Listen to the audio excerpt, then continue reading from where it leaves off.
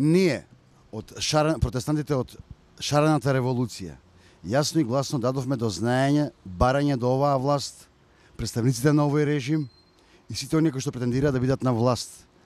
Сите активности, прекршочни постапки, истражни постапки, постапки против граѓанските активисти мора да сопрат, мора да прекинат и не сме да се повторуваат. Ова е еклатантен пример на злоупотреба и на прекршување на основни човекови права за изразување на граѓански револт и протест.